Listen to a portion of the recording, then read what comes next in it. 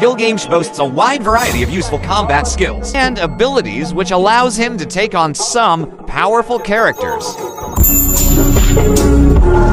Ryuko found her combat skills had been enhanced, but her appearance changes as well.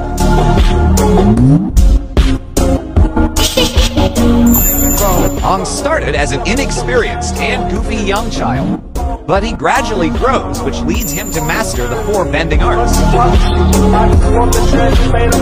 Eren's ability to mutate into an unstoppable 15-foot Titan is really useful?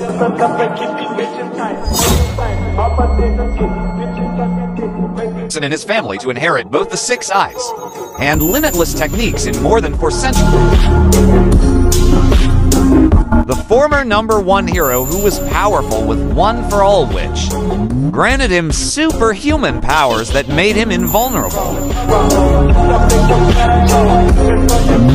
Mob's strength is instead derived directly through his thoughts. Ability to control the nine-tailed demon fox. And Sage mode made him stronger as people came to love him.